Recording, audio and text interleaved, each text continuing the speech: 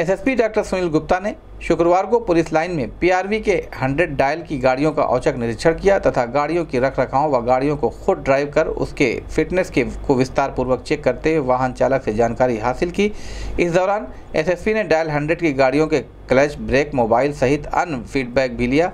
SSP ने MT section व RI को निर्देशित किया कि सबसे अच्छे चालक को महीने में पुरस्कृत करने का कार्य किया जाए और अगली बार निरीक्षण के दौरान तीनों ड्राइवरों को बुलाया जाए। क्योंकि 100 डायल चार पहिया वाहनों पर तीन चालक शिफ्ट वाइज वाहन चलाते हैं। इसलिए अगले निरीक्षण के दौरान जितनी गाड़ियाँ निरीक्षण में बुलाई जाती हैं, उन गाड़ियों के तीनों ड्राइवरों को बुलाया जाए ताकि उन तीनों ड्राइवरों को विस्तार पूर्वक समझाया जा सके, उनसे जानकारियाँ प्राप्त किया जा सके। गाड़ियाँ सही तरीके से ड्राइव हो रही हैं कि नहीं, इस संबंध में गोरखपुर न्यूज़ से बात करते हुए एसएसपी डॉक्टर सुनील गुप्ता ने कहा।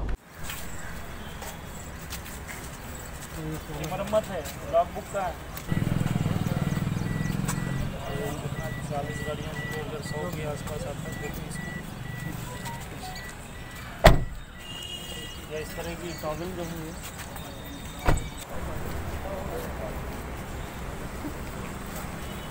ड्राइवर अपने बाकी जो है।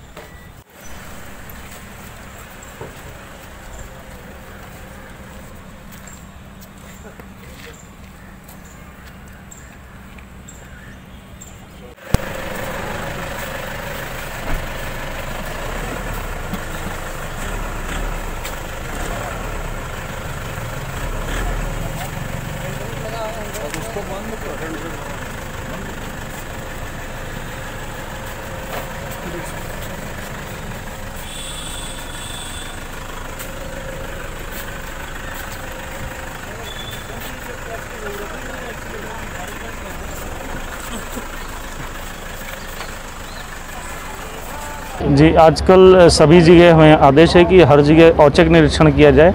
तो आज अचानक से मैंने कुछ डायल हंड्रेड की गाड़ियाँ बुलाई, उनके ड्राइवर से बात करी और उनकी समस्याएँ सुनने का प्रयास किया और उसको हल करने का।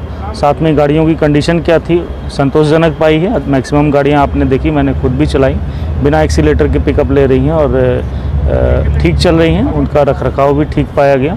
और इसमें कुछ एक ड्राइवर्स, चूँकि लगातार तीन शिफ्टों में होते हैं तो अलग अलग हाथों से गाड़ियाँ चलती हैं, इसलिए उनके रख रखाव में थोड़ी सी समस्या आ जाती है। तो उसके लिए एमटी जो सेक्शन है, उसको दिशा निर्देश दिए गए हैं। इनकी लॉग बुक्स चेक की गई, इनके जो भ्रमण के कार्यक्रम हैं, वो रूट चार्ट पर हैं कि नहीं, इन चीज़ों को चेक किया गया। साथ ही इसमें अभी मैंने अपने आरआई और एमटी इंचार्ज को बोला है, जो बेस्ट व्हीकल है, उसको हर महीने एक पुरस्कार दिया जाए।